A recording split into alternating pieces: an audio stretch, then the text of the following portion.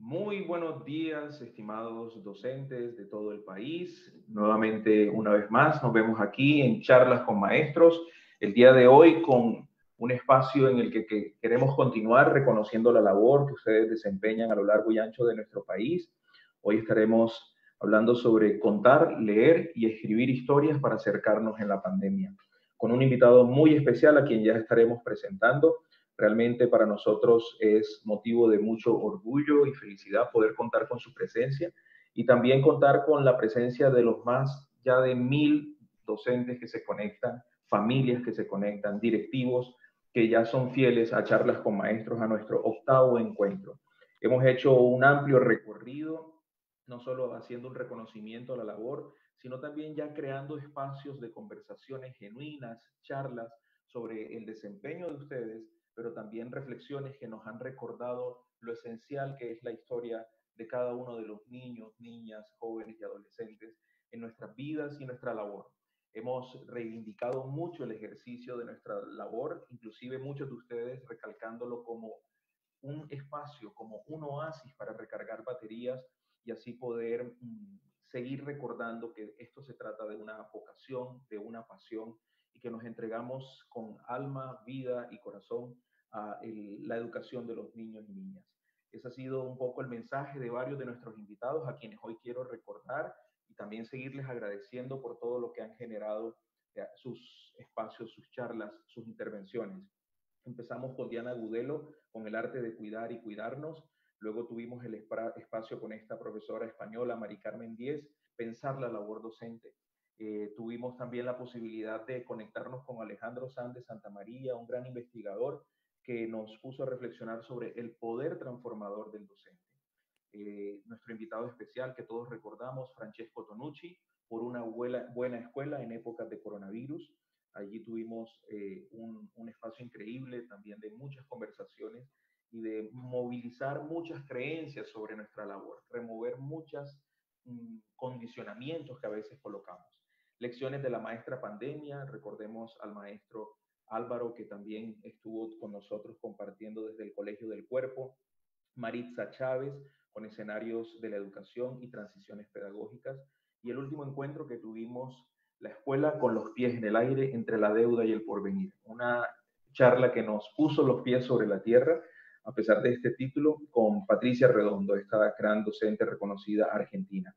Y hoy con nuestro invitado Héctor Abad Faciolince, a quien ya estaremos presentando. Bienvenidos, ya se nos conectan más de 2.000 personas desde Armenia, Apartadó, Tamalameque, todo el departamento del Cesar, Chiriguaná, eh, también desde Atlántico, con Soledad, desde Manizales, desde Ocaña, desde San Pedro, Valle del Cauca, Chinchiná, Itagüí, Neiva, Huacarí, Valle del Cauca, Chinú, Marinilla, Orocue, Casanare, de Galera, Sucre, de Cartagena, de Montería, de Arboletes, Antioquia, de Calarcá, de Popayán, de Valparaíso, también Antioquia, desde Pasto, Río de Oro, fieles participantes de charlas con maestros, Quito, Montenegro, Quindío, desde Socorro.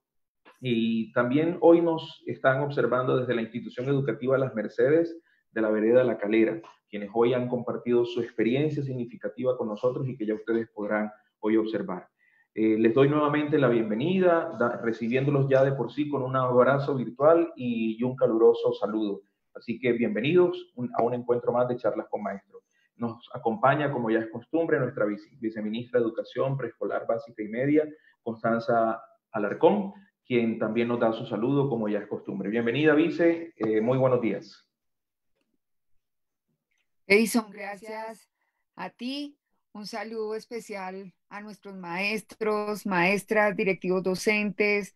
Ya sabemos que son, eh, mm, me acaban de escribir ahorita, recuerda Constanza que las universidades también nos unimos, entonces un saludo también para todos los maestros y docentes de las universidades. Tú lo decías y la verdad sí es un honor, pero además una gran felicidad eh, que esté hoy con nosotros Héctor Abad.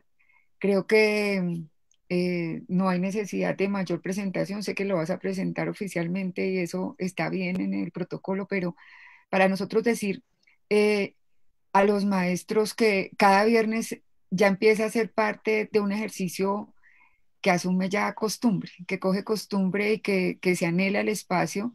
Es un muy buen momento como de cierre de semana, de cierre también de, de semana donde se hacen balances, donde se miran temas, donde se revisan también proyecciones para la que viene, pero es, una, es un momento también para desconectarnos de otras labores de ese día a día y empezar directamente como a mirar y a concentrarnos en algunas reflexiones de lo que está pasando. Y hoy antes de darle la palabra a Héctor, la reflexión que nos lleva a nosotros a pensar que Héctor podía ser una maravillosa persona en este espacio es eh, muchos temas que han salido y yo creo que ya empezamos a tener bastante saturación de reflexiones en torno a todo lo que debe hacer, debe cambiar, por lo que debe responder, lo que tendría que manejar la educación. Y cada día cada uno nos escribe, nos llama, nos preguntan, nos dicen, nos cuestionan. Es que la educación debería ser, la educación hoy tiene que estar al frente del tema la educación. Y entonces esto ha llevado, profes, a muchas, a, muchas reflexiones también pero que por momentos uno siente que toma distancia de lo fundamental. En la agenda hoy están los temas relacionados con lo, con lo digital, con los temas relacionados con la conectividad, el tema sobre el rezago en el aprendizaje, qué va a pasar con el aprendizaje de los niños en este proceso de pandemia, en este tema de aislamiento, si no tenemos todas las condiciones, cómo va a quedar el aprendizaje de algunas competencias que en el plan de trabajo y en el plan académico estaba de comienzo de año. Eh, ¿Qué va a pasar también con los informes y los reportes que demos? Mirábamos básicamente sobre eso y se nos ocurría pensar también un poquito en esa libertad que hemos tomado los viernes para poder hablar y pensar con tranquilidad que deberíamos poner en el centro ya lo básico. O sea, que lo básico en el, en el aprendizaje y entonces nos encontramos con muchos relatos tuyos alrededor de la importancia del arte, de la literatura, pero principalmente nos encontramos con la lectura. Y eso fue uno de los motivos que a nosotros nos llevó directamente a, contactar a Héctor y a que dialogáramos y abrir este espacio con los profes para que charláramos sobre el lugar que ocupa la, la lectura en un proceso educativo, en un proceso formativo que estamos diciendo todo el tiempo está encaminado a lograr el desarrollo humano, está logrado a encaminar el, la posibilidad de crear y de generar condiciones para la autonomía de la persona. Y entonces decíamos, bueno, pero la lectura es uno de los rezagos grandes que tenemos, los indicadores no nos favorecen, claramente nos dicen que no, claramente nos dicen no, lo tenemos también eh, documentado, la lectura comprensiva, la lectura crítica, pero eso empieza, eso hace parte de un ejercicio educativo que va desde un mismo origen. Y entonces surgían cómo hacer para enamorarnos mucho más de la lectura, cómo hacer también para que la lectura se convierta en una posibilidad real de construcción, de conocimiento, pero principalmente de orientación de decisiones y de proyecto de vida propio. Y las lecturas de mil formas, las lecturas de las que hablamos en primera infancia como las lecturas de realidades, las lecturas en voz alta, como lo manejamos con los más pequeños, eh, las lecturas de situaciones, las lecturas de las emociones que hoy están puestas claramente en la agenda. En este momento que estamos de país hablando con las secretarías de educación, con los equipos, con rectores, con docentes, todo el mundo nos dice, ojo, ojo con lo emocional, ojo con lo que está pasando y cómo la gente se está sintiendo y decimos, no podemos ir a, desfallecer en algún momento y cambiar rumbo y entender que primero es el saber sobre el ser, sino que evidentemente el punto central está sobre ustedes, sobre cómo están hoy, cómo se están sintiendo, qué está pasando con los maestros, eh, cómo está la capacidad en este momento que tienen para poder hacer frente, pero también para poderlo llevar en este ejercicio y en esta conversación a entender que lo están haciendo muy bien. Nosotros recogíamos para estas historias, para estos encuentros de los viernes, recogemos muchas historias y nos llegan una cantidad de narraciones y uno decía, en eso estamos. Los maestros le están apostando fuertemente a construir historias y narrativas que hacen parte de lectura de realidades. Y uno decía, ahí está puesta la lectura también en la forma básica y natural que se comporta eh, en, un momento, en un momento específico. Entonces, Héctor, eso fueron algunas de las reflexiones que nos dieron la posibilidad hoy de entender que el mejor invitado que podíamos tener eras tú. Mil gracias en nombre de los profes del país, mil gracias por aceptar la, la invitación. Muchísima emoción despertó la noticia de que eras tú el que ibas a estar acá, que nos ibas a honrar acompañándonos y creo que quedas en manos de un grupo humano sencillamente hermoso y fundamental para el país, como son los profesores y las profesoras hoy desde todos los rincones que tenemos. Bienvenido, gracias por estar acá. Y un tema también, Edison, que es clave, vamos a cambiar un poco más el formato para que el profe pueda tener, para que Héctor pueda tener acceso directo a todo lo que los profes nos escriben, nos comentan, nos cuentan y que es fundamental, obviamente, para motivar y para eh, direccionar el, ejercicio. Entonces, eh, dejo ya en palabras tuyas para que pueda entrar Héctor con nosotros. Muchas gracias, Vice, mil gracias. Se nos siguen conectando de muchas regiones y ya tenemos más de 4.000 docentes. Eh, también, como lo decía Vice, profesores de educación superior de universidades pero también quiero mencionarle a Héctor que se nos han conectado docentes, instructores del SENA, también están aquí presentes. Para ellos un saludo. Por tanto, hoy ya la participación cada vez va aumentando y se va extendiendo a la, como sector de la educación de nuestro país.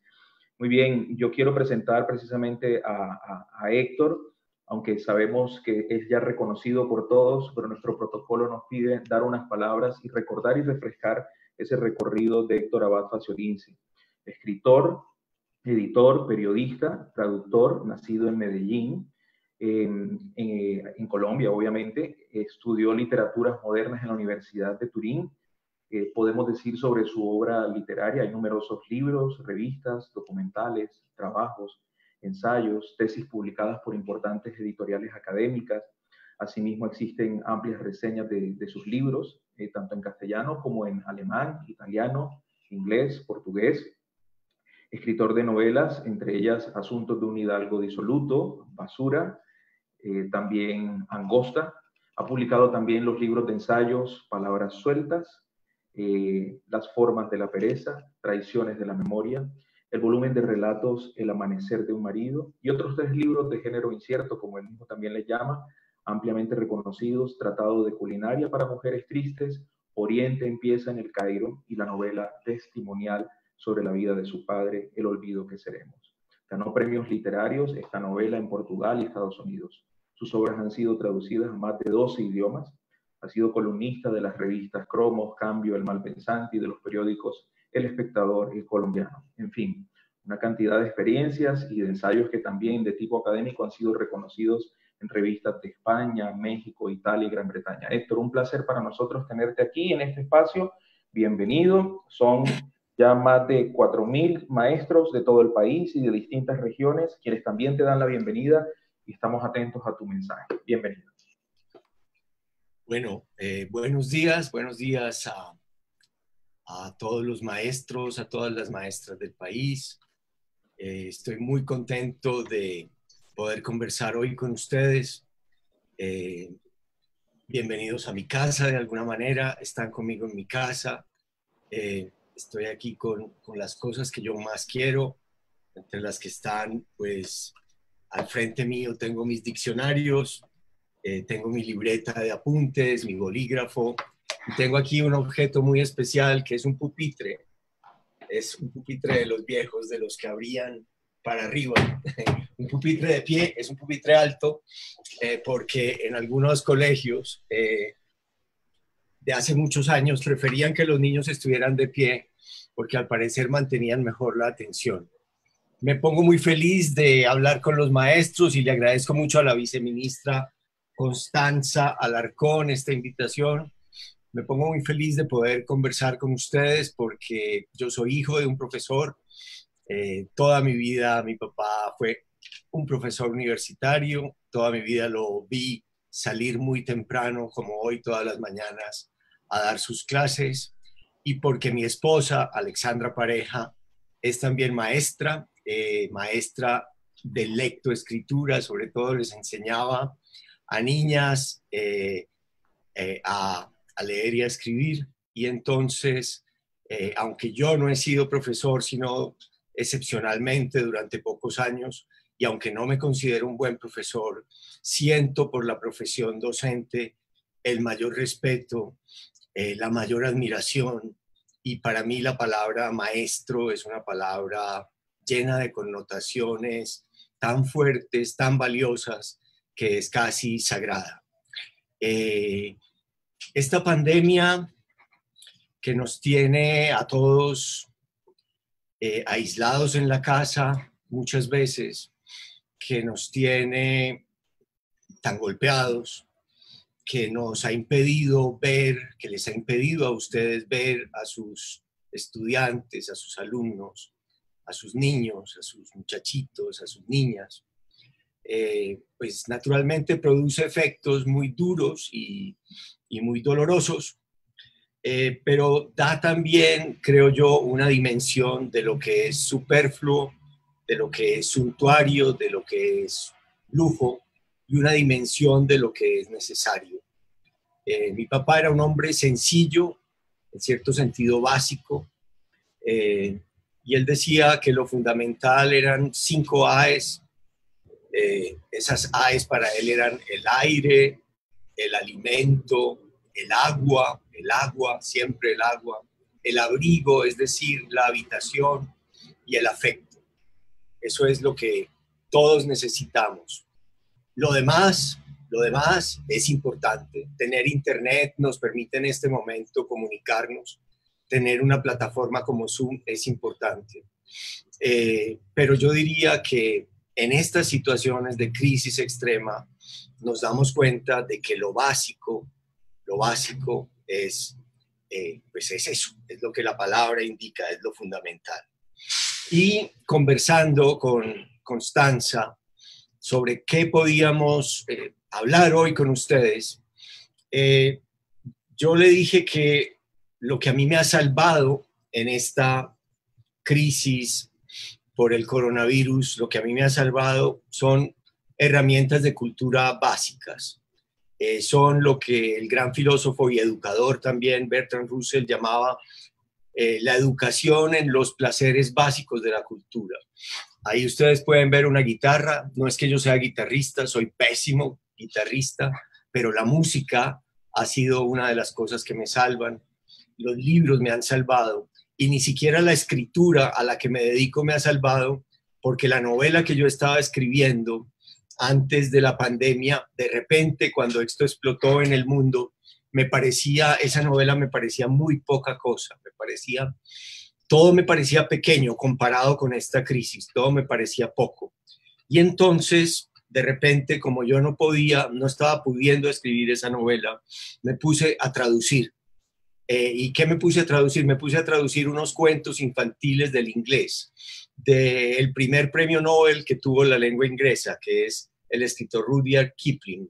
Y él escribió unos cuentos que le contaba a su hija, a su hija Josephine, antes de que ella se durmiera, él decía que había cuentos para contar por la mañana, cuentos para contar por la tarde y cuentos para contar a la hora de dormir. Y eh, esta hija Josephine, bueno, parece que era, era su primogénita, era una niña muy despierta, muy inteligente, y exigí, le exigía a Kipling, cuenta él, le, le exigía a él que contara esos cuentos siempre con las mismas palabras. Y si él cambiaba una sola palabra, la niña que ya se iba a dormir, si él cambiaba una sola palabra, se despertaba y le, y le exigía y le exigía que repitiera el cuento tal como era. Eh, en el año de 1899, a Kipling le dio una neumonía. Eh, como ahora, mucha gente la está matando una neumonía típica, así es como se conoció este, esta enfermedad al principio le dio una neumonía y a su niña también le dio una neumonía. Y estuvieron los dos entre la vida y la muerte. Y Kipling se salvó después de unas semanas y la niña se murió.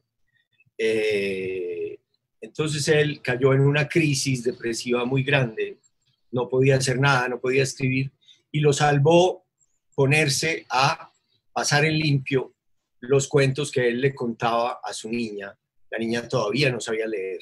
Y a inventar otros cuentos. Y son esos los cuentos que yo he estado traduciendo.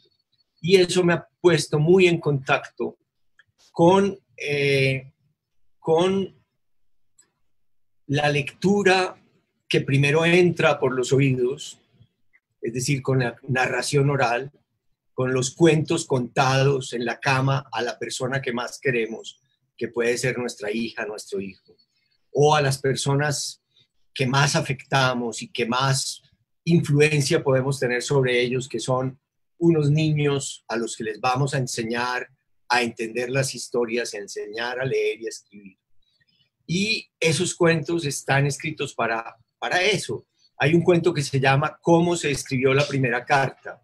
Y la escribe esa primera carta en el cuento de Kipling. La escribió una niña que se llama Taffy en una, en una sociedad de esas que llaman primitiva o en una sociedad cavernícola casi, él los pone como viviendo en una caverna. Y cómo se inventó el alfabeto.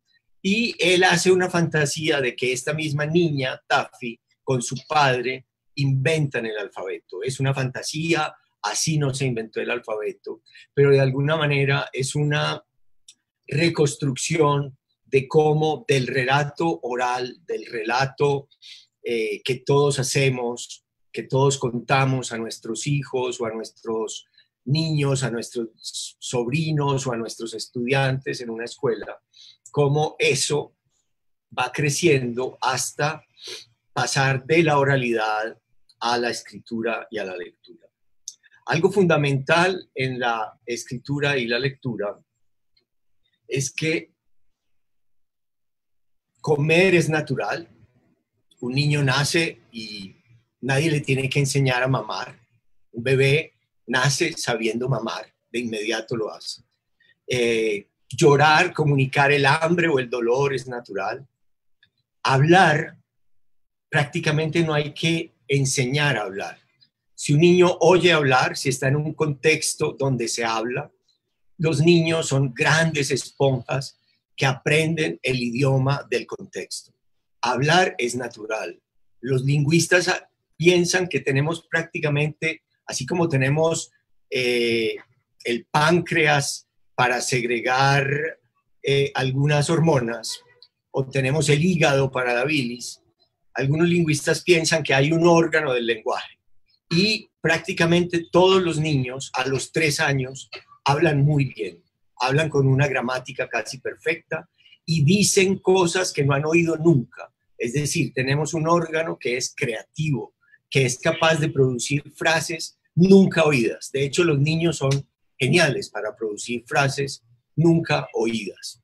Eh, a mí me encanta eh, cuando mi esposa, la maestra, cuando su niño de tres años, eh, Gregorio, la maestra se bañaba un día bajo la ducha con él, los dos desnudos, y él se quedó mirando hacia arriba los senos de su mamá y le dijo una frase que yo no había oído nunca y que tal vez ustedes no han oído nunca tampoco. Se quedó mirando a la mamá en los senos y le dice, Ma, las mujeres tienen dos corazones, eh, es una frase creativa, bella, hermosa, curiosa, de, de un niño que nunca había oído eso. Su pensamiento lo llevó a eso. Entonces, hablar y ser creativos con el lenguaje es natural, es tan natural como al año, si a los niños los estimulan y medio los acompañan un poquito, caminan. Eh, un ternerito o un potrico caminan desde que nacen, maman y caminan desde que nacen. Los seres humanos somos lentos, nos acabamos de criar, somos casi como los canguros que se acaban de criar por fuera, los marsupiales. Los, los bebés humanos también son casi marsupiales durante un año tienen que estar pegados de la madre, del padre, de la abuela, de alguien. Pero al año todos los niños caminan. ¿Qué quiero decir con esto? Que eso es natural. Pero la gran transformación cultural y lo que trajo probablemente todo el bien y todo el mal de eso que llamamos progreso, civilizaciones, culturas, fue un invento que no es nada natural, un invento que es raro, que es que es excepcional, que es cultural, que es la invención de la escritura del alfabeto o de las escrituras distintas a las del alfabeto. Y eso produce, piensan algunos neurólogos, un cambio cerebral profundo. Eso produce lo que se llama el cerebro lector. Eso hace que se establezcan en el cerebro conexiones neuronales totalmente nuevas, insólitas, múltiples, y producen algo maravilloso en el cerebro.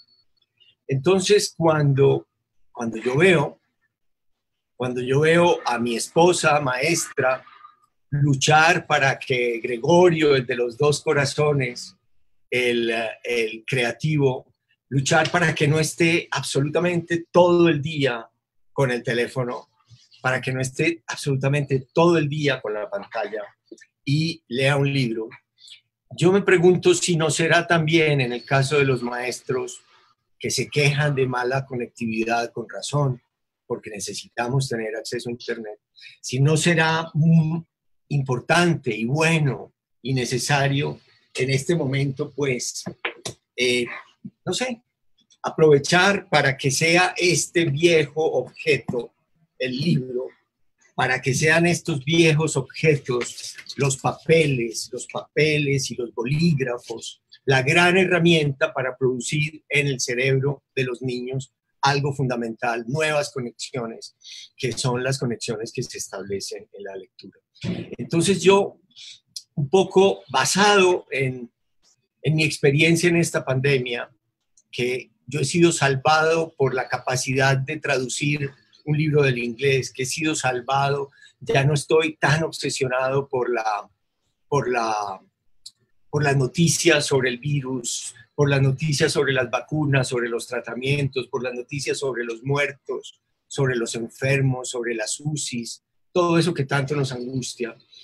He sido salvado porque tengo una herramienta cultural que es poder escribir en mi lengua, eh, más o menos bien, es algo que he hecho el esfuerzo toda la vida por hacerlo bien o mejor, por encontrar la palabra precisa, por usar mucho los diccionarios. Los diccionarios son mi gran herramienta. Aquí tengo siempre a mi lado el Julio Casares, que es un diccionario inverso en cierto sentido, porque todo el principio es un diccionario ideológico. Todo el principio está hecho para, si yo tengo una idea, pero no tengo la palabra, obviamente no puedo buscar la palabra.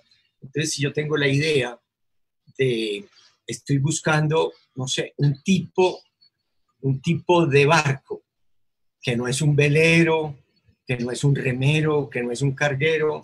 Si yo voy a la palabra barco, me da toda una serie de asociaciones que tienen que ver con la palabra barco y este diccionario me ayuda a encontrar la palabra que yo estoy buscando eh, para cierto tipo de barco. Entonces puede que yo encuentre la palabra vapor, que era la que yo estaba buscando, un barco de vapor.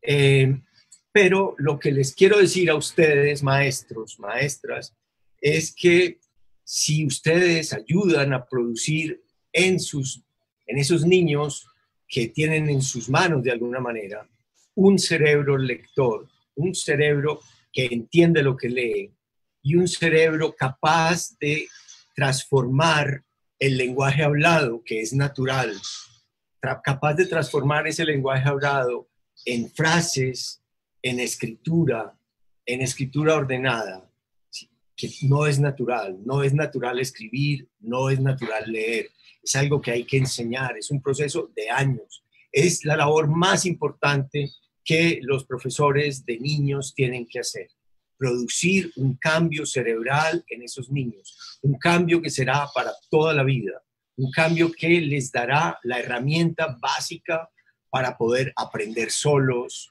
estar solos, ser críticos, ser, ser escépticos, desconfiar, ser ciudadanos pensantes. Y eso se hace con la, con la herramienta de la lectura y de la escritura. Y nosotros estamos más o menos en un momento de la humanidad tan raro como el momento en el que se, en, el que se inventó y se desarrolló la escritura, el alfabeto, en que se empezó a poder comunicar eh, a través de cualquier soporte de escritura, tabletas de cera, tabletas de cerámica, papiros, los primeros papeles. Estamos en un momento así de revolucionario que es el de este, el de la revolución digital. Eh, de alguna manera, esto también va a producir unos cambios cerebrales en los niños, lo está produciendo, pero eh, los estudios que hay hasta ahora indican que la, que la capacidad de concentración, la capacidad de imaginación, de trasladar, de trasladar el lenguaje natural a la escritura y la escritura y la lectura a la imaginación de historias es produce unas conexiones neuronales, unas conexiones cerebrales mucho más grandes, la escritura, que el desciframiento de imágenes digitales todo el tiempo.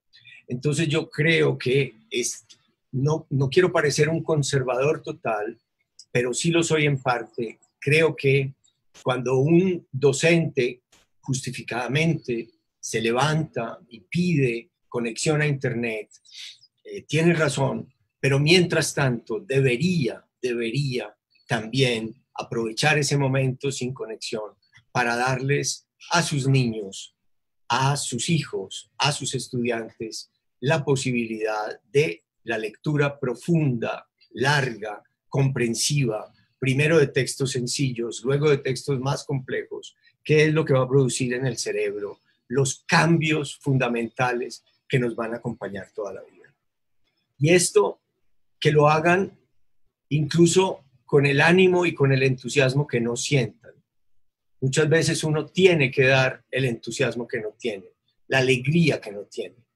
Yo me acuerdo mucho que Borges, que era ciego, recibía muchas cartas de personas ciegas y Borges decía que le gustaba mucho animar a los ciegos, a los nuevos ciegos, que él les decía cómo pues su, limitación eh, no le había impedido ser lo que era, ser un gran escritor, no le había ayudado a desarrollar una memoria prodigiosa. Y él decía que les daba el ánimo que no tenía.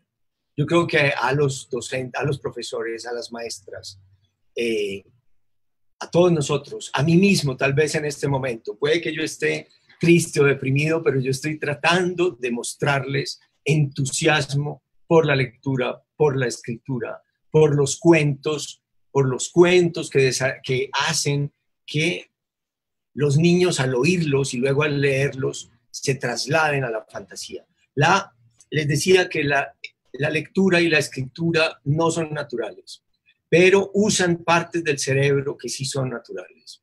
Yo una vez estuve en las selvas del Baupés, en la parte más profunda de las selvas del Baupés, donde no entraba ni, el, ni siquiera la radiodifusora nacional que entra en todas partes. No había ni radio, obviamente, ni televisión, ni internet, ni nada.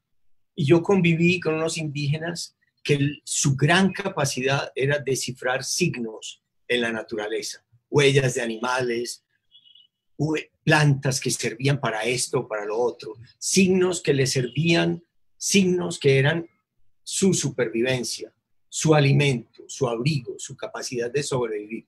Yo me di cuenta de que yo era ciego a todas esas cosas, que yo en un gran cataclismo universal como este prólogo que estamos viviendo no sobreviviría pero que estos indígenas del Baupés sí sobrevivirían por su capacidad de descifrar signos y de vivir a través de esos signos. Esa herramienta de esos hombres que llamamos primitivos porque son analfabetos. Tenemos que tener mucho respeto por estos analfabetos porque ellos usan esa parte que hoy nosotros usamos para descifrar signos en los libros y leerlos muy rápidamente. Ellos usan esa parte cerebral para descifrar signos maravillosos en la naturaleza y poder sobrevivir. Es ese cerebro antiguo nuestro el que nos permite leer y escribir y el que les permite a ellos sobrevivir en condiciones totalmente duras, adversas y naturales. Eh, bueno, yo quería que hiciéramos una charla más eh, dialogada. Ahora voy a empezar a dialogar con ustedes. Espero poder leer unas preguntas, pero antes les quería decir que darles a los niños esta herramienta de la lectura, de la comprensión, esta herramienta de la escritura, si se puede también una herramienta musical, es, les van a dar a los niños algo que será barato, que será para siempre y que será una fuente de salvación, de compañía, de placer para siempre. Yo nunca estoy solo porque estoy con estos libros. Los que tenemos libros y lectura nunca estamos solos. Los que tenemos música y lectura, estas herramientas culturales más o menos sencillas, eh, estamos salvados incluso en los momentos más duros. Tal vez van a sobrevivir, son los que logran descifrar la naturaleza y sobrevivir con lo básico, agua, alimento, aire, pero nosotros pues tenemos otras necesidades y entonces usemos esta parte cerebral para esto más básico. Pero eh, bueno, ahora estoy abierto a las preguntas que ustedes quieran hacer y espero poder seguir conversando con ustedes. Muchas gracias y es un gusto estar aquí. Muchas gracias, eh, Héctor. Precisamente muchas reacciones, ya hay muchas intervenciones. También ya tenemos más de 6.000 personas conectadas en este espacio se nos siguen conectando de distintas regiones del país, de Duitama, de Yumbo, de Palermo y Garzón Huila, de Pereira, de Maicao, desde La Guajira, de Cuesta, desde Sagún, desde Picachito, desde Medellín, Villavicencio, Riohacha, Bucaramanga, Codazzi, El Tambo, Cauca. Yo efectivamente quiero darle la palabra a la vice. Esta es la dinámica que hemos querido establecer en este espacio para ya empezar a, recoger algunas de las inquietudes, preguntas. Adelante, vice.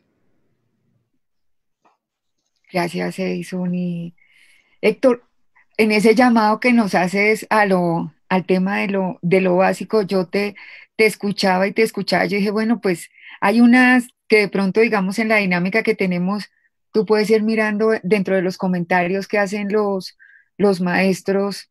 Luz Mari, Luz Mari, por ejemplo, dice, enseñar a leer a un niño es darle vida a las alas de los sueños para llegar muy lejos. La imaginación y la creatividad con una gran dosis de afecto anima el desarrollo de una mente poderosa. Y es, digamos, de parte de las interpretaciones que ellos van dando. Pero también, estoy viendo yo también. Qué maravilla. Que, me dice, en este momento estar en casa es muy importante, pero ¿cómo hacer con las familias que no les gusta leer y que no les leen a sus hijos? Dice, dice Harold Bustos. Hay una que se llama Belkis, y Belkis es uno de los personajes de, de los cuentos de Kipling. La reina de Saba, su nombre es Belkis. Aquí veo una niña que se llama, una maestra que se llama Belkis, eh, que habla de que sus niños cuando aprenden a leer los llama sabientes. Bueno, ¿qué hacer con las familias que no leen? Es, eso es una cosa fundamental. Esa era. Las, sí, viceministra, eh, hay estudios de que los niños que viven, que crecen en casas donde hay siquiera 50 libros, eh, donde hay pequeñas bibliotecas familiares, tienen grandes ventajas sobre los niños que crecen en casas donde no hay libros. Pero si uno recuerda que lo natural es hablar, que lo natural no es ni leer ni escribir. Leer y escribir es difícil, es duro. Y unos niños que crecen en un ambiente o analfabeto o casi, pues tienen esa desventaja. Lo único que se me ocurre a mí que habría que hablar con esos padres de familia es eh, decirles, bueno, ustedes no leen, no les interesa leer, por favor, cuéntenles historias, cuéntenle historias familiares, cuéntenle cómo era el abuelo, de dónde vinieron, dónde nacieron, cuéntenle cuál es la cosa más graciosa que han vivido en su vida, la cosa más dolorosa, el episodio más violento que han tenido la lectura entra por las orejas, entra por los cuentos que se cuentan. Entonces, lo primero es que les cuenten historias, que hablen. Y les toca a las maestras reemplazar lo que la casa no hace. Por eso existen las escuelas, por eso se inventó la educación pública, por eso es tan importante el papel de los maestros. Van a tener alumnos, van a tener estudiantes que vienen con una desigualdad, que vienen con una debilidad, con un hándicap, que es que en la casa no van a tener ese apoyo, pues en, en esos estudiantes hay que hacer un trabajo más intenso, tienen que ser más generosos con ellos, dedicarles más tiempo y suplir en, en la escuela y con el cariño, con el afecto. El afecto también está entre las cinco A's, lo que la casa no les da. Y, eh, y a veces, yo sé, José Saramago decía que él creció con sus abuelos, que eran dos analfabetos y que de ellos había aprendido muchísimo. Eh, eh, y Saramago llegó a ser premio Nobel de Literatura, el gran escritor portugués. Entonces, sin despreciar a nadie, sin menospreciar a los que no saben o a los que no hacen, sino con afecto, esos niños los podemos introducir en este nuevo campo que es el de la lectura y escritura, en estas nuevas conexiones cerebrales que se producen en el cerebro lector. ¿Qué más me escoges, Constanza? no, eh, recordaba porque ese es un tema muy trabajado en, en educación porque tú haces referencia a algunos estudios y alguna evidencia. Yo de formación soy maestra y recuerdo mucho que desde mi proceso de formación nos, nos referenciaban textos y estudios donde mostraban, por ejemplo, la diferencia entre los hijos de los maestros y otros niños, hijos de otras profesiones y la diferencia en cuanto al, al nivel, digamos, de desarrollo y de habilidades, pero al final del ejercicio el punto crítico estaba en que el maestro por la naturaleza también propia de su hacer, de su profesión, les leía mucho, hablaba mucho, contaba, acompañaba, o sea, la esencia no era tanto el ser maestro, sino en esa vocación que tiene claramente un profesor, ellos tienen en la crianza otra forma de relacionamiento con los niños. Y eso, hace que la pregunta sea vital por el tema de la lectura o de, la, de esa narración que tú nos dices que se dé ahí, el hablarles, está bien, si no tengo el acceso al texto, no tengo el acceso, hablemos, hablemos, contemos y hagamos de esto una posibilidad de contar historias, eso va generando la inquietud y la posibilidad también de, de, crear en el niño. Sí, yo he notado algo, Constanza. Los amigos míos, los que yo considero más inteligentes, amigos, amigas, he hecho como una estadística muy personal y la mayoría son hijos de maestros o de profesores. Tienen una ventaja inmensa los hijos de maestras. Entonces, yo considero a Jorge Orlando Melo un gran historiador, un gran profesor, una persona brillante de, de Colombia, hijo de una maestra, nieto de un maestro. Tienen una gran ventaja. Ojalá los maestros que nos están viendo logren introducir en las familias de sus estudiantes esas, esas cualidades que ellos tienen en su casa para enseñar, para, para relacionarse con, con los niños. Eso es lo que está produciendo unas, unas conexiones fuertes en el cerebro, está produciendo cerebros lectores, cerebros que comprenden, que sienten. Ahí vi que un maestro decía que era maestro de música y habla también del papel de la música. Me, me parece fundamental la música la música también, eh, no sé, en, los colegios alemanes, yo tuve la oportunidad de vivir un año en Alemania. La enseñanza de un, de un instrumento musical forma parte de la educación básica y eso también produce en el cerebro cambios maravillosos. Y el canto, el canto, las canciones, muchas canciones son de verdad composiciones literarias complejas, con rimas que ayudan a la memoria, con, y, y aprender melodías. Ahí estamos en el límite entre lo que es natural y cultural, porque yo diría que, casi que todo el mundo puede cantar, repetir, disfrutar una melodía, así sea la melodía de un pájaro, pero desarrollar un poco más las habilidades musicales, no necesariamente con solfeo, pero, pues, pero sí al menos con, con el uso de la voz para cantar y de un instrumento para tocar, uno sencillo, una flauta, un tambor, algunos son más rítmicos, otros son más melódicos, también produce cambios cerebrales que darán ventajas en la vida y una ventaja no económica, sino una ventaja psicológica fundamental y es cómo nos acompaña la música en una situación así y cómo el simple hecho de poder cantar o de poder disfrutar la música, la música popular o la música más culta, es una herramienta que dura toda la vida, que no es muy cara y que, y que, nos, y que nos salva, también nos salva. Hay una pregunta, Héctor, muy directa y concreta que nos hace aquí un profesor y ese es, creo que de esos libros básicos, cuando uno le compraban de chiquito la lista de los textos de los libros, siempre había, ahí iban unos textos que no podían faltar y le decían a uno, yo también creo que tengo aquí como dos o tres, la pregunta por el diccionario. Y entonces hay un profesor que nos está preguntando eh, por la enseñanza del uso de los diccionarios y el valor que tiene en el proceso también, en este ejercicio de enseñar a leer y enseñar a escribir, o mejor de aprender a leer y aprender a escribir, qué lugar ocupa el uso de ese que es, un, que es además de esos libros básicos que en toda biblioteca están, pero que tiene tanto que aprender detrás con respecto a su uso y a su buen uso. Sí, algunos dicen que ya los diccionarios están mandados a recoger, que los diccionarios online van a suplir eh, el diccionario de papel. Eh, pues yo no estoy tan seguro. Yo tengo aquí frente a mí, no los ven y voltear la cámara es complicado, pero eh, no, no lo logro. Tengo por ahí 50 diccionarios, diccionarios de otras lenguas, varios diccionarios de la lengua española. Y yo noto que personas universitarias, no quiero decir nombres, pero universitarios, cogen un diccionario y no saben buscar. No saben buscar, no les enseñaron en la escuela algo fundamental.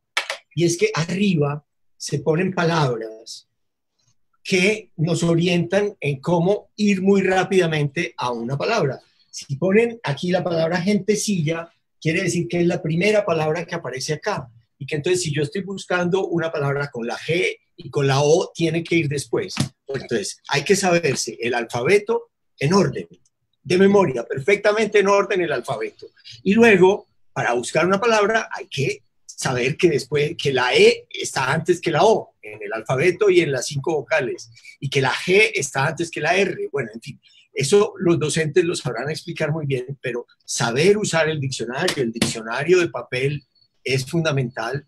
Y cuando a mí me preguntan qué libro se llevaría para una isla desierta, muchas veces pienso yo que el que me llevaría sería un gran diccionario, un buen diccionario. esa, esa clase es fundamental otra clase que a mí me parece fundamental y que me ha acompañado toda la vida es aprender mecanografía, aprender a escribir con los 10 dedos. Eso, eso yo lo hice solo con un curso que tenía mi mamá. Mi mamá era secretaria, es, bueno, no, está viva, pero mi mamá fue secretaria. Y ella tenía un curso, es curso de dactilografía de la escuela Remington. Pues yo aprendí solo a escribir con las 10 dedos y a mí me parece que aprender a escribir sin mirar el teclado y con los 10 dedos me ha dado unas ventajas en la vida enormes. Eso habría que enseñarlo a hacer. Ahora, yo noto que hay gente que no sabe hacer un sobre. ¿Dónde se pone la persona a la que va dirigida? ¿Dónde se pone el remitente? Lo escriben en cualquier parte. Enseñar a escribir una carta a mano y un sobre es fundamental. Algunos dicen que ya está desapareciendo la caligrafía, que para qué, yo noto que muchas personas ya ni siquiera saben, no saben, no saben entender mi letra pegada, porque todos escriben con letra, con letra despegada. Yo creo, en cambio, que la enseñanza de la caligrafía también produce cosas cerebrales importantes y que no es lo mismo recibir un mail, un correo, que recibir una carta a mano y que, y que todo el mundo debería salir del bachillerato con una herramienta que es la capacidad de escribir una carta clara, con buena ortografía y que se entienda lo que yo quiero decir. Eso da una gran ventaja. Si yo me quiero dirigir a la ministra de Educación, a la viceministra de Educación, y le escribo una carta clara, enfática, directa, con buena ortografía, esa carta va a tener mucho más efecto en la viceministra que una carta mal escrita, sin puntuación, una porquería, escribir con las eh, con mala ortografía. No, esas herramientas básicas son fundamentales. Aquí hay una pregunta que yo la voy a hacer textual porque, porque además en este ejercicio claramente entre todo ese poder que, que tiene la lectura, esa posibilidad y ese potencial, entra también el tema emocional directamente a ser parte de este proceso porque se está leyendo, pero además están reproduciendo emociones. Y el un maestro nos pregunta, Elkin Varela, ¿cómo manejar los aspectos psicoemocionales cuando se escribe, se escribe sobre todo si, lo, eh, si lo producido está relacionado con episodios tristes y crueles de la propia vida, como es su caso cuando escribió sobre su papá. Me pareció respetuoso leerla textualmente y entonces hace, es muy puntual y es muy para ti, obviamente. Sí. Eh, lo conocemos entonces. Fíjense que yo ayer estuve en un, programa como este, también por Zoom, eh, no, en realidad fue por Instagram, presentando este libro de una autora antioqueña que se llama Sara Jaramillo, y el libro se llama Cómo maté a mi padre. En realidad ella no mata al padre, el título, el título no es exacto, pero a esta, a esta joven escritora le mataron al padre en el año 91, el año más violento de, de Medellín. Y ella, ella tenía 11 años y escribe este libro contando cómo ese asesinato del padre de ella, que se llamaba Pompilio Jaramillo y era abogado, destruyó una familia. Eh, hizo que uno de sus hermanos se volviera drogadicto, acabara en la indigencia y finalmente lo matara un carro en la calle. Hizo que se disgregara la familia, hubiera peleas con los tíos.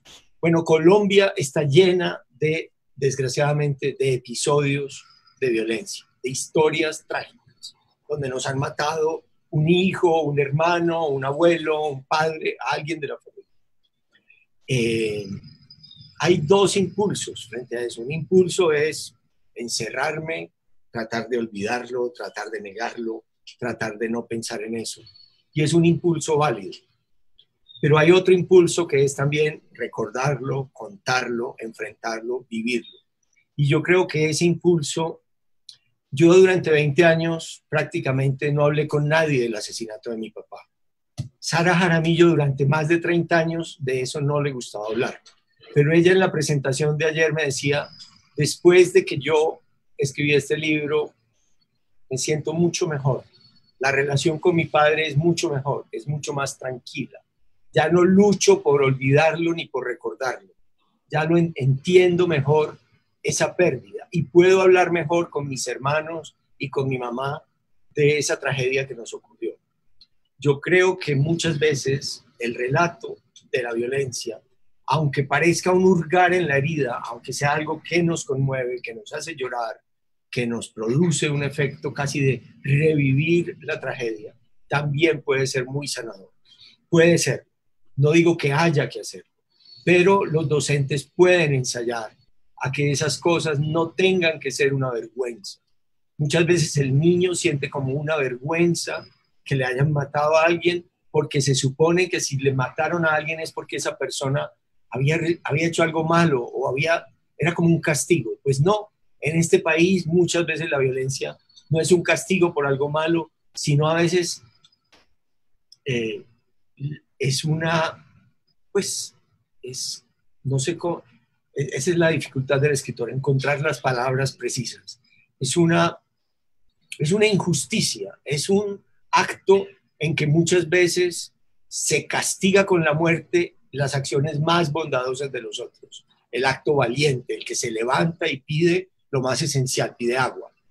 A mí me, decían, leí que uno de los motivos por los cuales no se pueden abrir los colegios públicos en Antioquia es porque muchos no tienen agua limpia, corriente para lavarse las manos. Y si en esta pandemia lo primero es lavarse las manos, pues entonces hay que tener, lo primero que tiene que tener un colegio, antes incluso que techo, es agua para lavarse las manos. Entonces me parece muy bien que antes que Internet o que cualquier cosa, alguien sea capaz de pedir agua para lavarse las manos, para que no nos enfermemos de esto o de muchas otras enfermedades. Entonces, eh, Puede ser que alguien que lucha por el agua sea alguien de los que matan. Pues esa persona murió en, pidiendo algo, pidiendo algo justo y básico. Entonces yo creo que se puede hablar del dolor, no siempre, pero creo que se puede hablar del dolor. Yo una vez hice un curso de literatura y violencia en una universidad alemana, en la Universidad Libre, Freie Universität, y al final les pedí a mis estudiantes que escribieran todos un relato de la experiencia más violenta que hubieran tenido en su vida. Y para ellas, la mayoría las mujeres, fue muy liberador.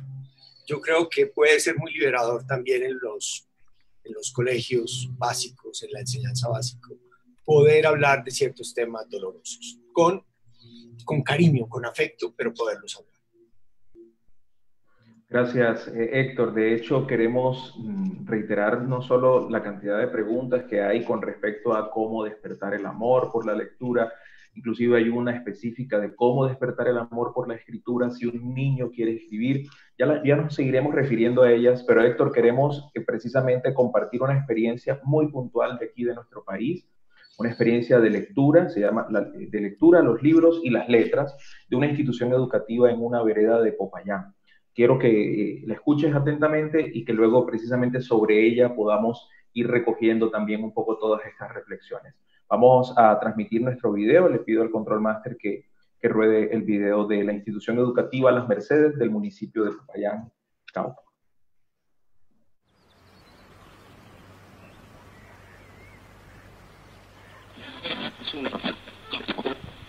Y a esta hora de la mañana un saludo muy especial para todos los estudiantes, para los padres de familia también de la institución educativa Las Mercedes. Momento de presentarles a ustedes precisamente el proyecto de lectura de esa importante institución educativa de noroccidente de Popayán.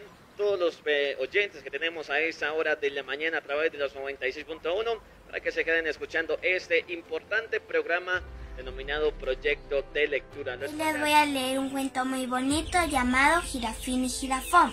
Érase una vez una linda jirafa llamada Jirafina. Cuentan que es muy pequeño, es verde y un poco flaco. Un día la flor había visto pasar una caravana. Ha dicho que bailaría conmigo si le llevaba unas rosas rojas y lamentaba el joven estudiante. En el momento que se da la emergencia por COVID-19, eh, los docentes de lengua castellana nos reunimos y miramos la manera de reestructurar y hacer la propuesta que veníamos implementando desde, desde la casa, ¿cierto? Nace nuestra experiencia con la lectura de los libros y las letras, con la cual buscamos que los estudiantes a través de la lectura adquieran aprendizajes memorables y se acerquen a ella. El primer componente es la promoción de la lectura. El segundo componente es la proyección social y el tercer componente es el fortalecimiento de nuestro proyecto con los invitados especiales. Se convierte en una estrategia que permite llegar a los hogares, que nos permite conversar con las familias, incluso eh, diría yo que a un nivel un poco más, más alto porque estamos no solamente llegando a los estudiantes, sino también a los padres de familia y a toda la comunidad en general. Estamos logrando que toda una comunidad empiece a interesarse por la lectura. El programa radial que realizan los profesores en la emisora latina Tu Radio de la Calera me parece excelente, ya que incentiva en nuestros hijos el amor por la lectura y una forma de aprendizaje diferente. Agradezco a cada uno de los profesores por dedicar su tiempo a sacar las citas, las lecturas para hacerlas llegar hasta nuestros hogares, dándole a entender a nuestros hijos que sí son importantes y que aún en la distancia están muy interesados por su aprendizaje. Las dos emisoras comunitarias que están en el sector nos han brindado dos espacios, los días martes y los días jueves, en donde nosotros nos dirigimos y damos las respectivas orientaciones. Lo que nos ha permitido llegar a toda la comunidad educativa y que los estudiantes y, y niños se interesen por los procesos de lectura de manera autónoma. La primera franja literaria corresponde a los conversatorios realizados con los docentes y con nuestros invitados especiales. La segunda franja literaria corresponde a la intervención de nuestros estudiantes y padres de familia eh, realizando sus lecturas en casa. Ahí viene el avión, buscando el túnel. Vas a comerte una cucharadita por mamá y otra por papá. Por la abuela, el abuelo. Y así, entre juegos y nanas, desde pequeños nos enseñaron a soñar sigan por favor en adelante leyendo otras obras, otros libros, otros cuentos. Siéntanse muy felices y orgullosos de saber qué es lo que les da a cada uno de ustedes la lectura. El mayor reto es lograr que a través de la literatura los estudiantes empiecen a pensar que las ciencias que se enseñan en el colegio tienen una trascendencia para nuestra vida. Queremos que de todo esto la lectura sea un aprendizaje, una iniciativa para la vida y no una iniciativa pasajera. Dentro de nuestra institución nosotros leemos para nunca estar solos. no solo porque lo pueden escuchar los mismos estudiantes, sino que también lo escuchan los padres de familia y las personas donde alcanzan a llegar las ondas radiales. Los extraño, pronto nos volveremos a ver. Quiero resaltar la estrategia radial, eh, los libros y las letras, ya que con ella nos permiten acercarnos al mundo eh, de los libros a través del ejemplo que nos dan nuestros docentes.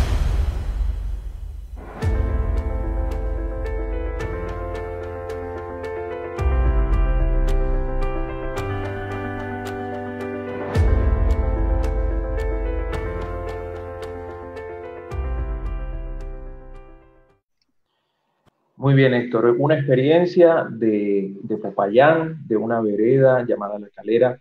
Y si quisiéramos tener de tu parte una palabra sobre este tipo de experiencias que nuestros maestros a lo largo y ancho del país nos, nos envían constantemente, escucharte y luego continuar con este diálogo y con otras preguntas que ya están apareciendo allí en, nuestro, en nuestros comentarios. Bueno, a mí me parece, me parece muy bonita esa lectura colectiva, me parece muy bien que escojan a unos niños que leen muy bien. Me gusta mucho cuando los niños pueden hilar y uno ve que cuando hacen bien la puntuación están entendiendo lo que leen.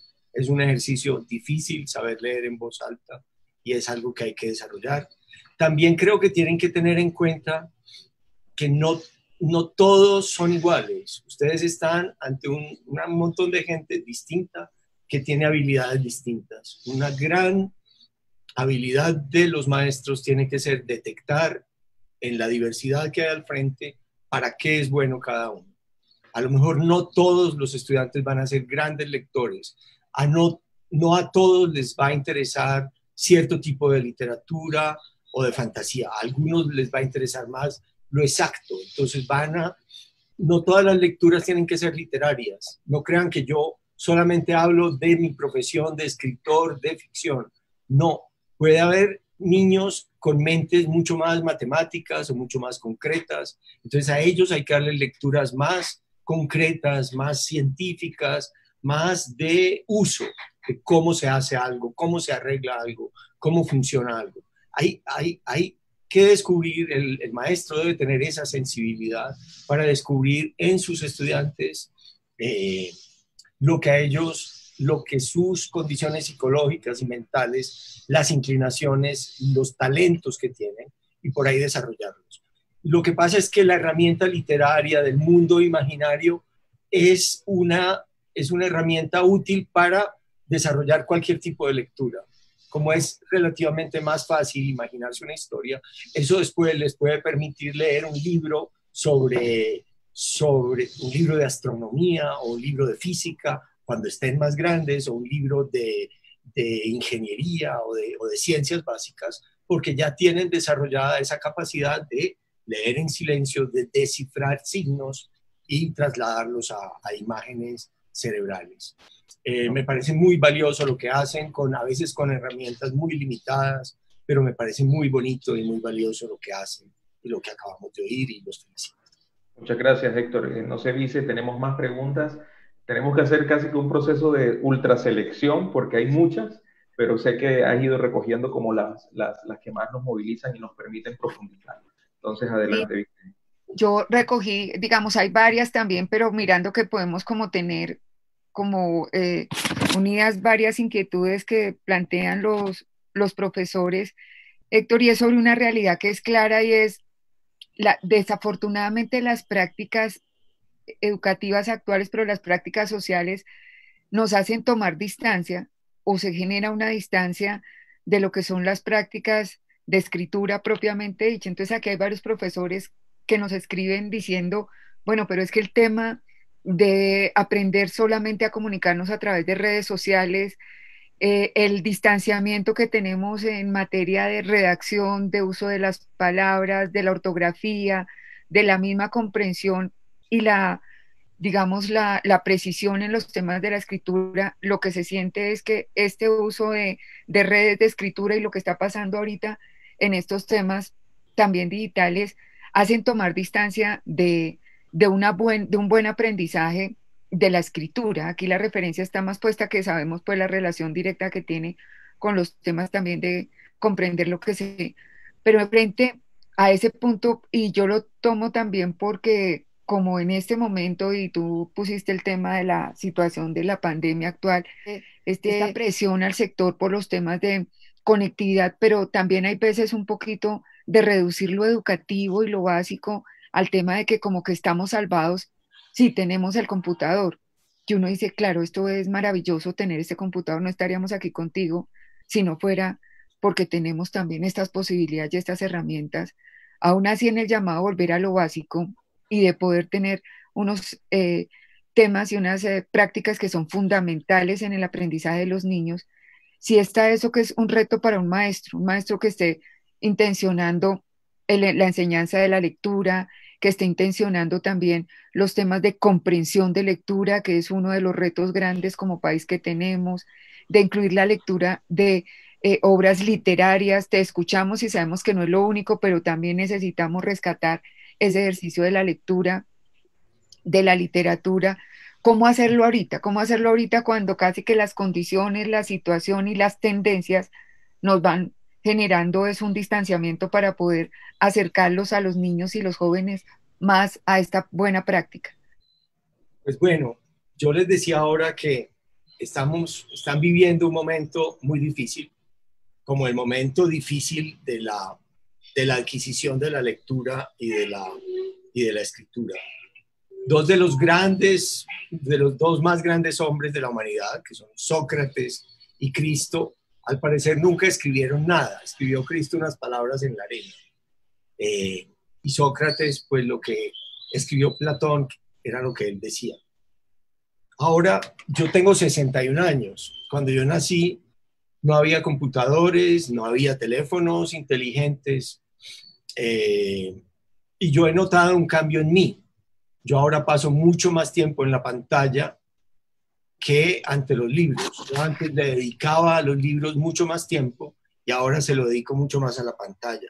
Y yo he notado así que mi lectura profunda, mi inmersión, el hecho de sumergirme durante horas y horas en un texto complejo y profundo es menor, es menor mi capacidad de hacerlo. ¿Por qué? Porque este soporte, a veces al principio los que leíamos decíamos, no importa el soporte, en cualquier soporte contra el, con tal de que lean, no importa si leen en el teléfono, si leen en el computador, si leen en una tableta, en, una, en, cualquier cosa, pero que lean. Pero cada vez hay más consenso en que la lectura, en que la lectura del libro en silencio y sin otras distracciones al mismo tiempo, el multitask, el hacer muchas cosas al mismo tiempo, produce en la mente eh, una, unas imágenes, una serie de asociaciones con la memoria y con la experiencia que en la pantalla no se dan. Entonces, yo sé que es dificilísimo. En mi propia casa, en la casa de mi mujer, maestra, sacar a estos adolescentes de 15 y de 12 años de la pantalla es una lucha muy difícil. Es, se vuelve un enfrentamiento con estos niños que llega, al, llega a exasperarlos a ellos y a exasperarnos a nosotros. No estoy diciendo que sea fácil, eh, pero tratar de explicarles que la experiencia de la lectura produce psicológicamente ventajas profundas, produce una mente lectora que es, que es una herramienta para la vida entera de comprensión, de, de de, relación con el mundo mucho más intensa y mucho más profunda. Hay, hay que intentarlo, hay que intentarlo. Y nosotros mismos tenemos que hacerlo. Muchos dicen, pero ¿cómo hacemos si no, si no se interesan por la lectura? Lo que tienen que ver los niños si es, es el ejemplo. A mí me gusta leer porque yo, porque la biblioteca de mi casa era el cuarto de las transformaciones, porque mi papá llegaba de mal genio llegaba aburrido, llegaba haciendo mala cara, se metía en la biblioteca media hora, se sentaba en su sillón, se ponía a leer y a oír música y salía totalmente transformado y feliz. La lectura incluso te transforma rápidamente, te produce un estado mental bueno. Eh, esa capacidad de salirse del mundo, de salirse de uno mismo, de salirse de los problemas o problemitas que tenemos, es, es, es, algo, es algo salvador. Montesquieu decía, no he tenido nunca un problema en mi vida tan grande que una hora de lectura no haya disipado. Si nosotros le damos a alguien la capacidad de leer concentrado durante una hora de algún tema, de cualquier tema, puede ser una novela, puede ser los astros, puede ser los planetas, puede ser un mal libro incluso, un libro de Pablo Coelho bien malo. Incluso eso es bueno porque nos saca de nosotros mismos. Hasta los malos libros son buenos y además porque es que hay que desarrollar muchos órganos, hay que desarrollar los ojos, que si uno deja de leer se le cansan, le lloran, no funcionan. El músculo del ojo, la comunicación del ojo con el cerebro, se produce como un cruce adentro.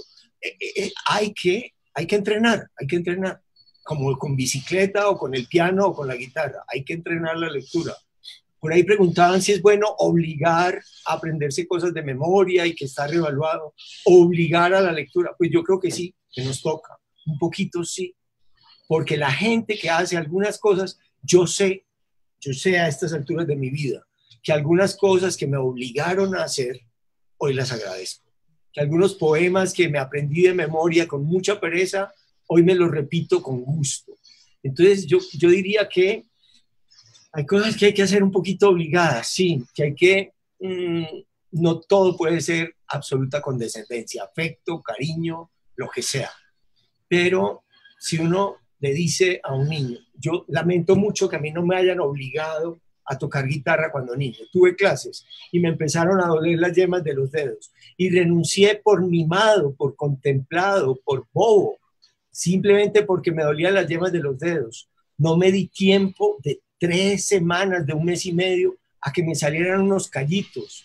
A uno le sale callo y ya no le duelen las yemas de los dedos. A uno le duele leer al principio, le duelen hasta los ojos. Pues tiene que salir una especie de callo en los ojos para que nos guste leer. Y entonces hay que obligar y obligarse. Y si a uno no lo ven con gusto leyendo, si no es por el ejemplo, entonces si mi papá nunca lee, si mi maestro nunca lee, pues ¿por qué voy a leer yo? Si mi maestro está siempre en el teléfono y mi mamá y mi papá también, pues eso debe ser lo bueno. Hay que hacerlo con el ejemplo. Gracias, Héctor. Sobre ese, ese tema del ejemplo, claramente nosotros los maestros, yo de formación soy, soy maestra también, em, pero pues una experiencia como la tuya y obviamente la trayectoria pues lleva a hacer una pregunta que sabemos que no será lo mismo para nosotros, obviamente, pero eh, varios maestros han preguntado a, a lo largo de la charla qué lo llevó concretamente a usted a leer y a escribir y qué le inspira en este momento tan difícil seguir leyendo y escribiendo. Parte de eso se ha dicho, pero la pregunta es muy puntual, tal vez al momento que estamos viviendo. Bueno, eh, esto lo he contado muchas veces, pero a lo mejor no todos ustedes lo han oído yo crecí en una familia de, muchas mujeres. Yo tenía cinco hermanas, tengo ahora cuatro hermanas vivas, cuatro mayores que yo y una menor. Y las mujeres, yo creo que biológicamente, hablan antes, hablan mejor, hablan más rápido y hablan más que los hombres. Entonces yo era una especie de niño mudo y bobo, bobito que no era capaz de comunicarse. Entonces descubrí, porque mis hermanas hablaban mejor, con más gracia, hacían reír, con toda la actuación, contaban las historias maravillosamente. Mis hermanas son muy buenas narradoras orales y yo era niño, el niño bobo, el niño pendejo. Pero cuando aprendí a escribir, descubrí que yo tenía, podía tener una herramienta y era escribirle cartas a mi papá o a mi mamá, carticas, carticas y que, y que yo tenía un cerebro más lento que el de mis hermanas y una capacidad eh, verbal muy inferior a la de ellas, pero que si yo me tomaba mi tiempo y escribía, y escribía despacio y corregía, podía tener un gran efecto con la escritura. Entonces yo creo que yo me volví escritor para poderme comunicar, para poder contar con la escritura las historias que mis hermanas contaban hablando.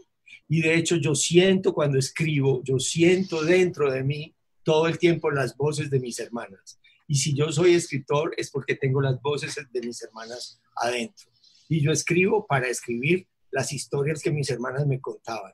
Y por eso muchas veces escribo con voz de mujeres. En una novela que se llama La Oculta, donde dos de las voces son de mujeres, y yo tenía que oír mientras la escribía las voces de mis hermanas. Yo escribo para poderme comunicar.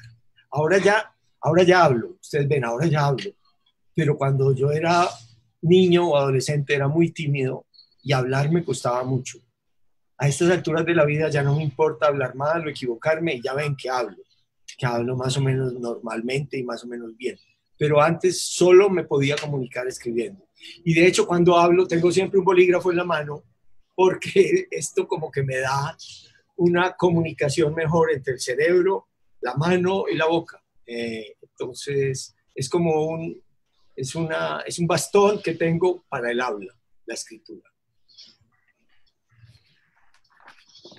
Hay una, una serie de, preguntas que ya son eh, muy del área, nuestro, del área de la pedagogía, del área del tema de la enseñanza, entonces nos, nos, los maestros hacen referencia a ciertas prácticas, a ciertas prácticas, además cuando tú dices, sí, eso chiquito fue bueno también que le hubieran obligado a uno a hacer algo, a hacer algunas cosas que hoy, digamos, son, pero esa así como que presionaran, dejó su huella y sirvió, pero entonces hay prácticas que todavía se utilizan mucho en educación. El tema de transcribir textos, el tema eh, son, son distintas, no las estoy poniendo en el mismo plano, solo que cogí varias preguntas, pero hay uno que habla, por ejemplo, hay un profe que pregunta si la práctica de transcribir textos puede ser una buena práctica. Hay otra maestra que, bueno, más que una pregunta, hace un comentario diciendo como el reto que tenemos porque seguimos todavía en las instituciones educativas enseñando la lectura a través de mecanismos memorísticos, el tema de las planas, repetir la M, la P, los métodos silábicos, es decir, sienten que evidentemente entre eso y el arte de aprender a leer y a escribir, pues hay una brecha que ya es una tarea grande nuestra, digamos, eh, ya como maestros sobre la enseñanza de la lectura y de la escritura. Pero entonces si preguntan por cuáles serían unas buenas prácticas, unas mejores formas para aprender esa manera correcta, que nos lleve además, porque detrás de esto hay algo tal vez de lo que no hemos hablado mucho y es, eh, está el tema de, de lo que permite hacer la lectura. Pero ya cuando lo llevamos también al tema académico, entra otro tema adicional y es cómo hacemos desde el tema de esa lectura que sea eh, comprensiva, una lectura crítica, una lectura analítica, una lectura que de verdad sea una herramienta también que claramente está eh, relacionada con el deleite mismo de la lectura, pero que digamos que aporta también de manera directa a ese gran propósito también de aprendizaje que tiene el sistema educativo. Entonces ahí es como una serie de inquietudes en torno a las mejores formas y a los cuestionamientos que hay frente a los temas de la enseñanza de la lectura y de la escritura. Bueno, yo desgraciadamente en este tema ya muy concreto de, de cómo hacerlo, eh, de qué herramientas usar, no soy para nada un experto. Lo único que yo tengo en esta vida es algo de sentido común y de intuición, pero no, no tengo suficientes lecturas, no he estudiado el tema, no soy pedagogo no, y no soy ni siquiera docente ni maestro. Pero intuitivamente, si preguntan transcripción literal de textos, no me suena tanto. Me parece mucho mejor algo que eh, Umberto Eco, un gran profesor italiano, eh, escribió en un, breve ensayo que se llama Elogio del resumen. Me parece que el resumen es una herramienta mejor que la transcripción. Si uno lee un cuento de tres páginas, ser capaz, ser capaces los niños desarrollar la habilidad de en un solo párrafo contar los elementos fundamentales de un cuento que se contó en tres páginas. Entonces, me, sirve, me parece más lindo el resumen. El resumen es una habilidad que demuestra la capacidad de comprender un cuento. Un cuento sencillo, caperucita roja, caperucita que sale con frutas, bizcochos, bosque, la ve el lobo, para dónde va la abuelita, eh, se come a la abuelita, etc. ¿Cuáles son los puntos esenciales de tres páginas de caperucita roja que yo puedo reducir en un párrafo? En ese párrafo de resumen, creo que voy a demostrar si fui capaz de captar los momentos cumbres, los momentos fundamentales de ese cuento. Eh, ahora vi en el chat también una pregunta de un docente o una profesora que decía, y es bueno enseñarles desde pronto una nueva lengua. Yo les decía al principio, la lengua hablada es natural. Ustedes cogen a un niño de Bogotá y lo llevan al Baupés al año a una comunidad que solamente agua, habla lengua, lengua muinane y ese niño aprende la lengua muinane sin acento y perfectamente al año. Cuando yo fui, ahora les dije que fui a, estuve un año en Alemania y ese mismo año, al mismo tiempo que yo, llegó un niño de Cuba con los padres. Yo tuve todo ese año para tratar de aprender alemán. Al final del año fui a esta misma familia cubana. Yo no hablaba casi ni una palabra de alemán, el niño hablaba fluidamente alemán. Los niños son esponjas que aprenden idiomas. Si ustedes pueden ponerlos en contacto con otra lengua desde que son niños, a mí sí me parece una gran ventaja. Si ustedes tienen niños bilingües, un niño que habla el idioma de una comunidad indígena y el, y el castellano, pues es maravilloso el ejercicio de la traducción, que ellos jueguen de una lengua para otra eh, hacia el castellano o hacia la lengua que hablen. Maravilloso.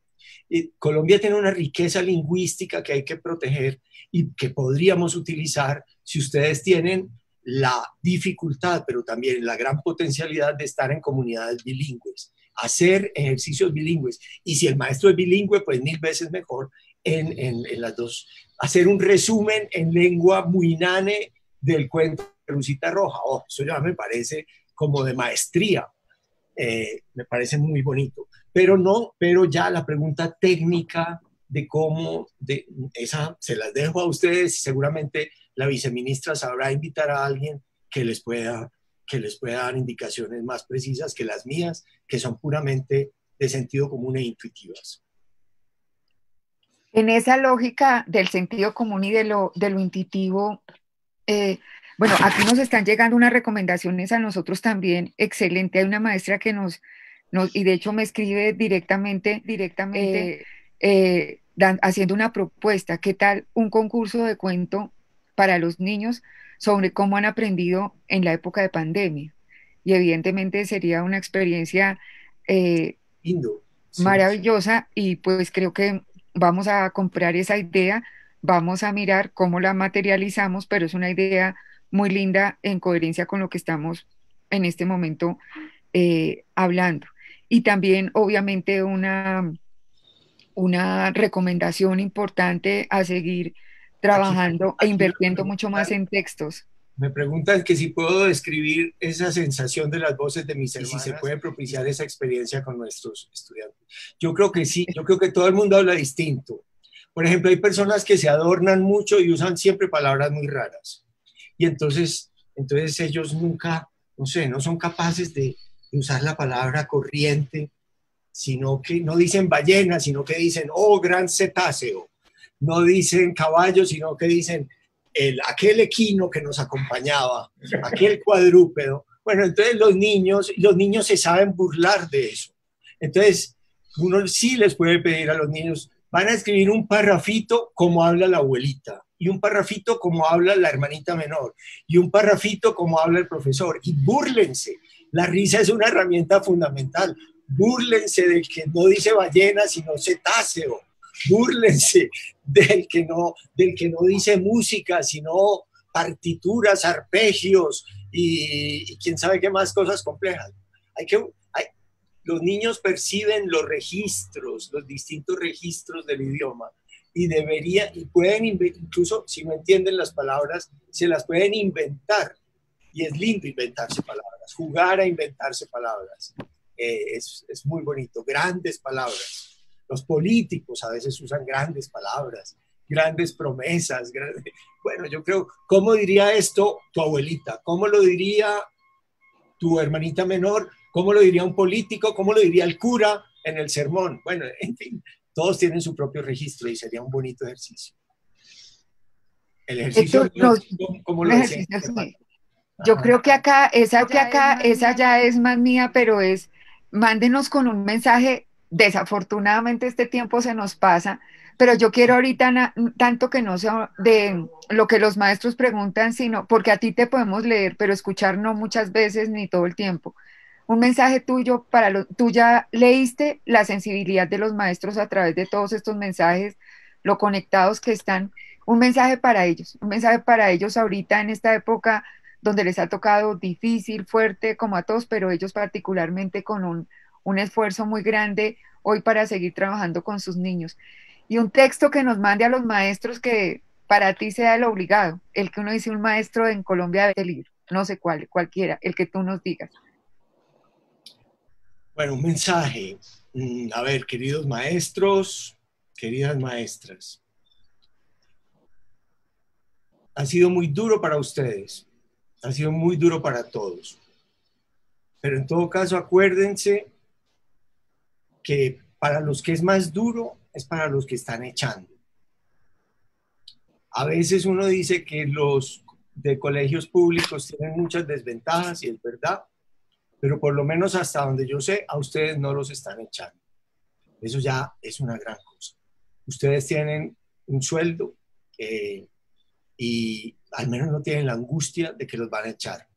A mucha gente en este país, a mi alrededor, le han rebajado el sueldo al 50%, al 60%, o, los o han perdido el trabajo con, con lágrimas, no gente de restaurantes, gente de bares, gente de muchas actividades económicas, de la industria editorial de los libros, los han tenido que echar.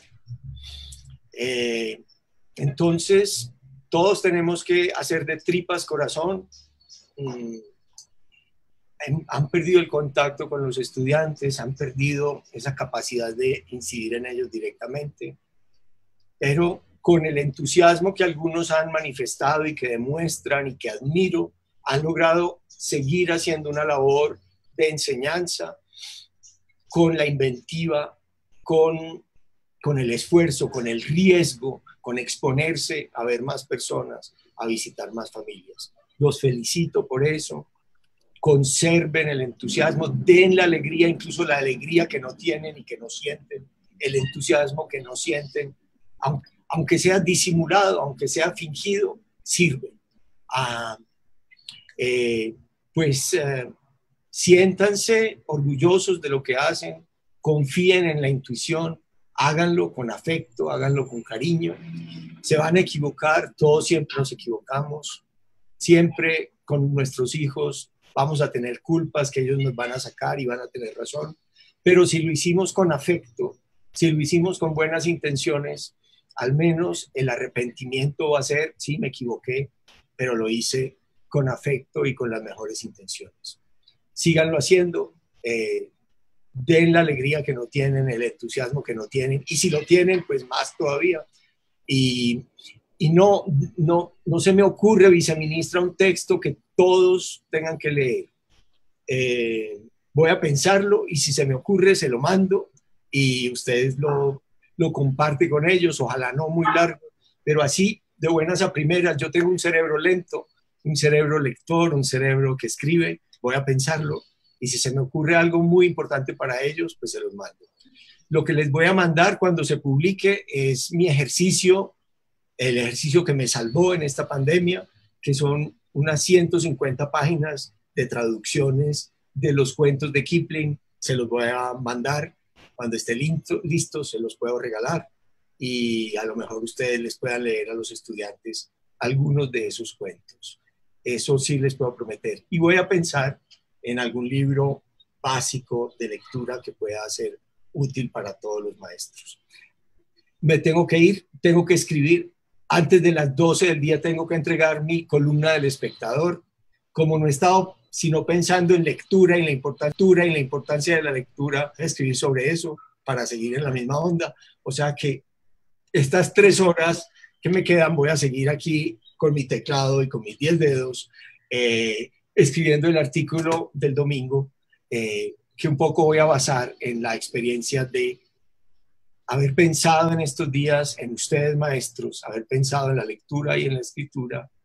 Y bueno, eh, ya estuve, en general yo empiezo a las 7 y termino a las 12.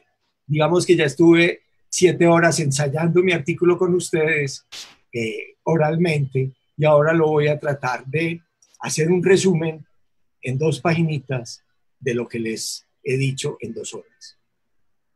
Héctor, muchísimas gracias. Realmente es un acto de bondad tuya y de generosidad el haber compartido este espacio. Estaremos muy atentos a la columna, seguramente. Y Pero si no, me sale, si no me sale, de pronto escribo sobre los perros, no me critiquen, pero es que a veces no salen y me toca escribir sobre los perros o los gatos o alguna cosa distinta. Perfecto. Pero lo voy a intentar. Mil gracias, mil gracias, viceministra, nuevamente. Gracias. Espacio de mucho enriquecimiento. Yo quiero simplemente retomar unas cuantas frases, volver a lo básico. La lectura nos salva, nos conecta con lo esencial. Eh, inclusive hasta mis abuelos y sus historias me permiten despertar el amor por la lectura. Incluso la lectura te abre a un mundo infinito de perdón y reconciliación, parafraseando algunas de las frases que nos compartiste, Héctor, y de las cuales te agradecemos de corazón.